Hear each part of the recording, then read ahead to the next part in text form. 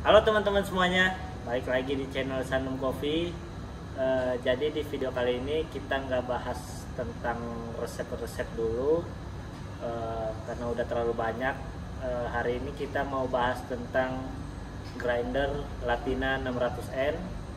Eh, grinder ini aku beli udah sekitar tahun 2019, jadi udah sekitar tiga tahun lah kurang lebih. Hmm, masih berfungsi dengan baik, semuanya normal, eh, belum pernah ada kerusakan dan fuse-fuse-nya di sini fuse cadangannya juga masih lengkap, belum ada kepake. Eh, tapi hari ini kita nggak bahas tentang itu, kita bahas tentang gimana cara merawat dan membersihkan grinder Latina 600N ini agar kalian bisa awet dalam penggunaannya dan bertahan lama. Eh, sebelumnya buat kalian yang belum subscribe, eh, tolong kalian subscribe dulu channel ini sebagai bentuk eh, support kalian terhadap channel ini agar channel ini bisa berkembang dan terus membuat tutorial-tutorial tentang perkopian buat kalian yang udah subscribe eh, terima kasih banyak karena udah bantu channel ini. Oke tanpa berlama-lama lagi langsung kita ke video cara membersihkan grinder ini. Oke jadi pertama-tama kita lepas kopernya dulu. Lepas. Oh iya alat-alat yang kita gunakan ini ada obeng plus terus ada kuas kuas udah cukup itu aja yang kita gunakan. Uh, hoppernya udah kita lepas. Terus kita lepas di sini di setelan uh, gilingannya. Ini jangan lupa kita setel di nomor satu dulu agar nanti pas ketika kita masang kita tahu masangnya di angka berapa tadi pas waktu dilepas. Set di satu. Tuh dipegang. Baunya dibuka.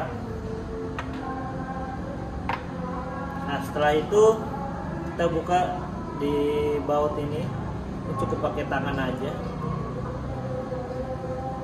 Nggak terlalu keras. Dan ini ditahan ya ditahan. Karena belakang ini dia ada spring. Kita tahan. Oke.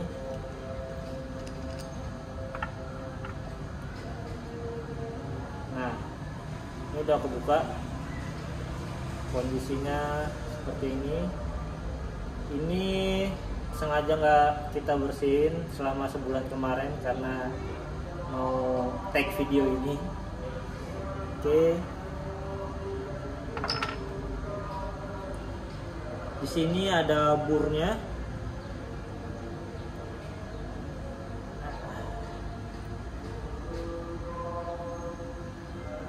Ada springs yang tadi. Nah tuh. Kotorannya udah jatuhan. Ini ada springs. Lalu ada pin yang sering hilang. Jadi hati-hati ketika membukanya ini mata pisaunya burnya udah kotor. Memang udah waktunya harusnya kita bersihin. Nah ini bur dalamnya. Jadi antar mata pisau antar bur ini dia saling uh, ketemu buat ngehalusin si biji kopinya gitu. Itu yang harus kita bersihin. Oke cara bersihinnya. Mulai dari penutupnya dulu yang tadi sini ada bearingnya kita bersihin juga. Kita puas-puas aja.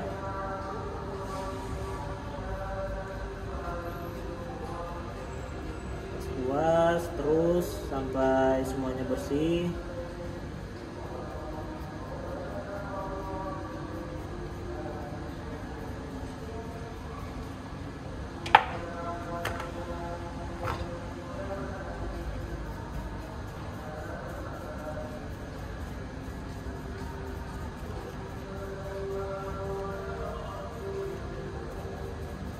masih kelihatan kayak di situ Hah? masih kelihatan di situ Masih?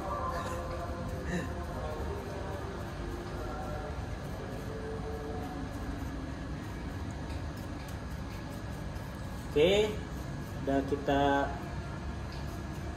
puas-puas sampai semuanya bersih seperti ini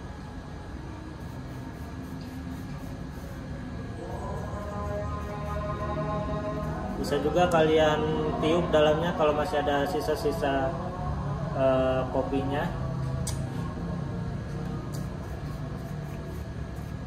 Udah udah bersih. Lalu ajan lagi stop dulu deh. Oke sorry tadi agak kejedah sama azan. Eh, tadi kita udah bersihin penutupnya yang ini ini udah bersih. Sekarang selanjutnya kita membersihkan ini bur yang bagian depan. Ini kita puas-puas saja. Udah kotor banget. Seharusnya sih eh, apa semakin sering digunakan grindernya harus semakin sering dibersihkan ya. Apalagi kalau kalian makainya eh, beans yang tingkat roastingnya itu dark itu biasanya eh, biji kopinya sudah mengeluarkan minyak itu yang bikin cepat kotor grindernya dia.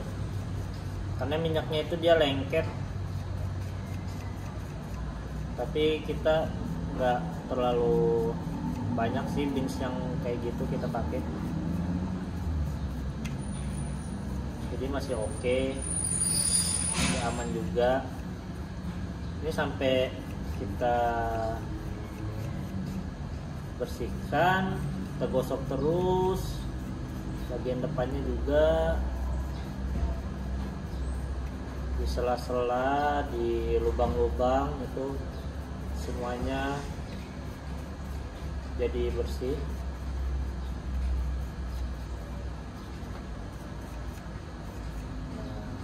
lalu di dalam-dalam ini ada baut nih biasanya suka nempel kotoran di sini sisa-sisa kopi.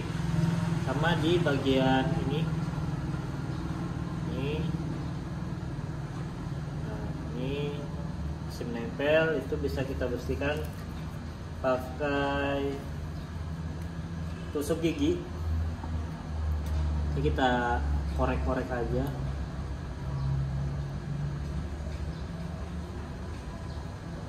Nah, seperti ini. Sampai semuanya bersih ya. Dan ini juga nanti berpengaruh pada kualitas eh, kopi yang kalian seduh.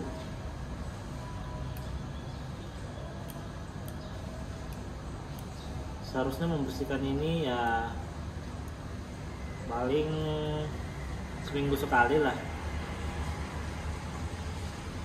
Biar kualitas kopi kalian juga oke.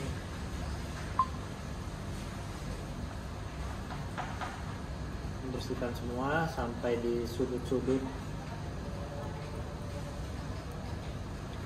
Lalu di dalam ini juga kita bersihkan tempat springs dan pinnya ini banyak bubuk kopi yang nempel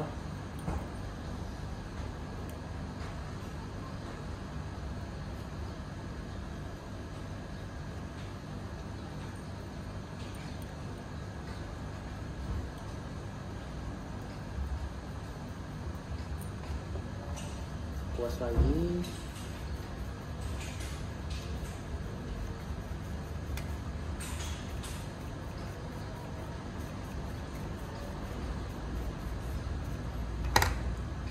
sekarang di bagian yang ini bagian ini kita bersihkan juga menggunakan tusukan gigi. Ini di sela-selanya dia nempel kopi-kopi.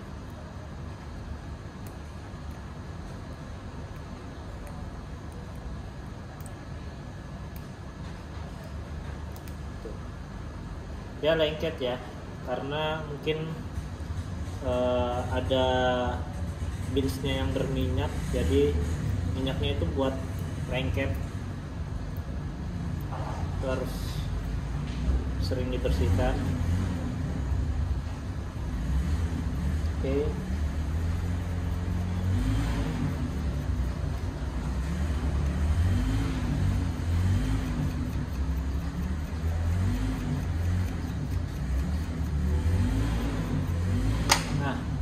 sampai seperti ini. Dia udah nggak ada lagi kopi yang lengket atau menempel. Dia ada rongga sebenarnya tapi karena tadi ketutup sama kotoran akhirnya rongganya ketutup. Udah kita bersihkan. Sekarang bagian satunya lagi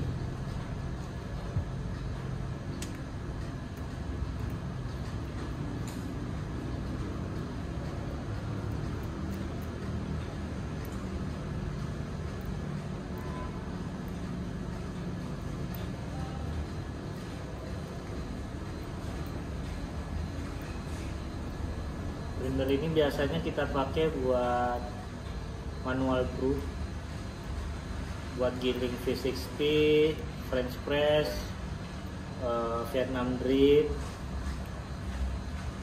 Itu biasanya kita pakai grinder ini. Jadi dulu dulu gr- grinder ini aku pakai buat giling espresso.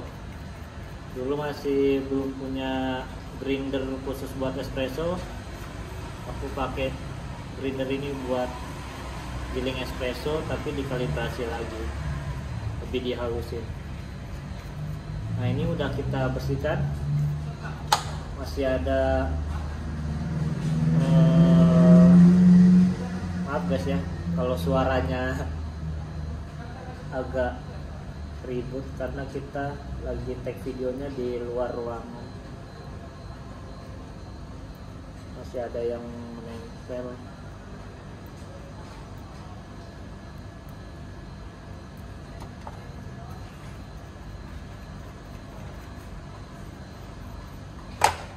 ini udah bersih. Udah bersih.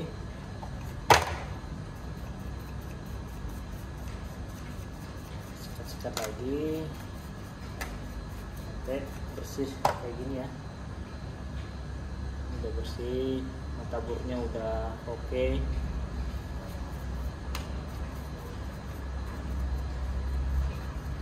Yang di dalam ini dia nggak usah terlalu bersih juga nggak apa-apa karena di dalam ini eh, ada sedikit kayak pelumas gitu biar dia nggak terlalu pergesekan antar besinya.